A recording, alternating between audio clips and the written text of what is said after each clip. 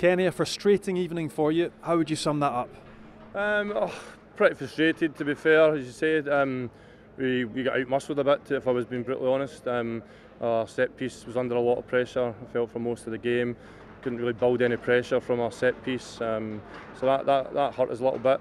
Um, probably a big thing for me was our collisions. Um, we probably lost collisions at key moments in the game. You know, I was saying that to the boys. You know, we can defend well for, for parts, and then all of a sudden, you know, we we fall off a tackle in, in key areas of the park. So pretty, pretty disappointed with that. Got to be better there. And probably just a game management. You know, when they got to 14, we I didn't feel we managed the game as well as we could have. You know, and yeah, we got we got to improve that part of our game. And again, an improved eh, performance required. Going to Italy next, who've already beaten England in this tournament. What will you need to fix or get right come Monday, Tuesday review, so that you can be better prepared for the next game?